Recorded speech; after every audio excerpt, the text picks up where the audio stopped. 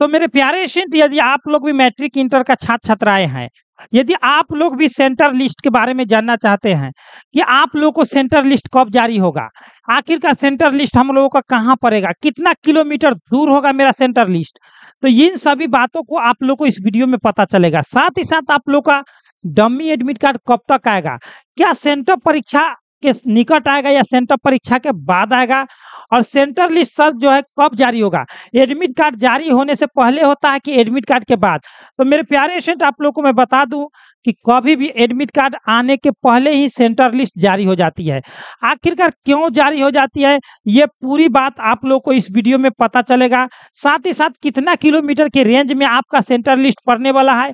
क्या आप लोग का एक ही जो है अनुमंडल के अंतर्गत आप लोग का एग्ज़ाम सेंटर पड़ने वाला है या आप लोग को अनुमंडल के बाहर। यानी कि कोई कोई का होता है एक ही अनुमंडल में एग्ज़ाम पड़ जाता है या किसी किसी का दूसरे अनुमंडल में एग्ज़ाम पड़ता है। तो ये पूरी जानकारी मैं बताने वाला हूँ तथ्य के अनुसार। तो चलिए आप लोग लास्ट तक बने रहिए। आप लोग यहाँ पर देख रहे हैं कि जब भी भी कोई भी चीज़ जारी होता है तो वो श्री आनंद किशोर आईएएस द्वारा जो चेयरमैन है है ना? अध्यक्ष है बोर्ड अध्यक्ष यानी कि बिहार बोर्ड का बोर्ड अध्यक्ष कौन है? तो श्री आनंद किशोर। जब भी भी कोई भी तथ्य जारी होता है बिहार बोर्ड का, वो श्री आनंद किशोर जी द्वारा जारी किया जाता है। तो चलिए हम लोग पूरी जानकारी लेंगे। सबसे पहले हम लोग सर्च कर लेते हैं स्टडी सिलेबस हम लोग सर्च कर लेते हैं। यहाँ से हम लोगों को पूरी जानकारी मिलेगा। तो सर्च करने के बाद हम लोग इस पर क्लिक करेंगे। इस पर क्लिक करने के बाद हम लोग अपडेट पर आएँगे। न्यू अपडेट पर आने के बाद हम लोग को यहाँ से सेंटर लिस्ट निकलेगा। सेंटर लिस्ट यहाँ पर हम लोग क्लिक करेंगे सेंटर लिस्ट पर। सेंटर लिस्ट पर क्लिक करने के बाद हम लोग यहाँ पर देखेंगे। ऊपर की स्क्रॉल करेंगे और यहाँ से संपूर्ण जानकारी हम लोग प्राप्त करेंगे। ठीक है? संपूर्ण जानकारी हम लोग यहाँ से प्राप्त करेंगे। आप लोग वीडियो में धैर्य बनाए रखें जिससे आप लोगों को पूरी पूरी जानकारी प्राप्त हो सके कि सेंटर लिस्ट कब आएगा, कितने दिनों बाद आएगा फॉर्म भराते भराते आप लोग को सेंटर लिस्ट जारी हो जाती है। तो चलिए आप लोग को जो है अब सेंटर लिस्ट जारी होने ही वाला है। Bihar board inter matric centre list दो हज़ार पच्चीस कॉलेज स्कूल कॉलेज का जो है चेकआउट। बिहार विद्यालय परीक्षा समिति द्वारा प्रत्येक वर्ष अपने समय तिथि के अनुसार ही परीक्षा केंद्र जारी की जाती है। तो आप लोगों को बता दें कि बिहार विद्यालय परीक्षा समिति द्वारा परीक्षा केंद्र जो है एडमिट कार्ड जारी करने से पहले जारी हो जाती है। परीक्षा केंद्र में आप लोगों को स्कूल का कोड याद रखना पड़ता है, क्योंकि स्कूल कोड से ही आप अपना परीक्षा केंद्र जान पाएँगे। स्कूल कोड को तथ्य के अनुसार याद रखे नीचे दिए गए संपूर्ण जानकारी को पढ़े। कह रहा है कि बिहार विद्यालय परीक्षा समिति अचानक जारी किया जाता है 2025 परीक्षा का जो परीक्षा केंद्र, जो मैट्रिक इंटर परीक्षा देने वाले छात्र छात्राएँ हैं 2025 में, उन सभी को जिला बाई जिला के अंतर्गत जो है परीक्षा केंद्र जारी किया जाता है। यानी कि जितने भी छात्र छात्राएँ हैं वो लोग परीक्षा अगर 2025 में देने वाले हैं तो सबसे पहले आप लोग को डिस्ट्रिक्ट बाय डिस्ट्रिक्ट आपको जो है पहले पोर्टल खुलता है ए, ए, सेंटर लिस्ट का। और वह पोर्टल कैसे कैसे खुलता है मैं इस वीडियो में पूरा बताऊँगा आप लोग लास्ट तक बने रहे पूरी जानकारी के साथ। बिहार बोर्ड ने जारी किया सेंटर लिस्ट करने के बाद उसने बताता है कि कहाँ पर आपको सेंटर पड़ेगा।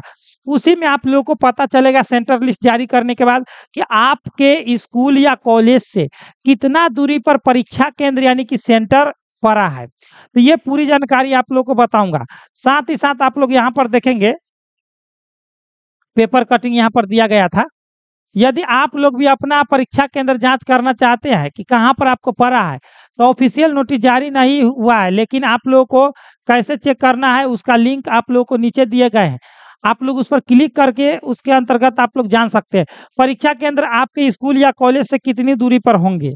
चलिए, ये आप लोगों को जानकारी है। तो परीक्षा केंद्र 2025 में बिहार विद्यालय परीक्षा समिति में बताया गया कि सभी छात्र छात्राओं का अधिक अधिक दूरी तय करने में बहुत ही कठिनाई होती है।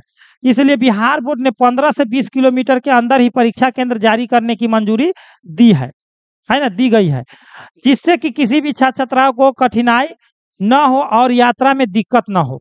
देखिए, बिहार बोर्ड पहले बहुत बहुत दूर देता था परीक्षा केंद्र, लेकिन अब जो है बहुत सारे छात्र छात्राओं को दिक्कत होता है, जिसके कारण सभी छात्र छात्राओं का जो है निकट ही यानी कि 15 से 20 किलोमीटर के अंदर में ही देता है, या 10 किलोमीटर हो, लेकिन ज़्यादा से ज़्यादा 15 से 20 किलोमीटर दूर होता है।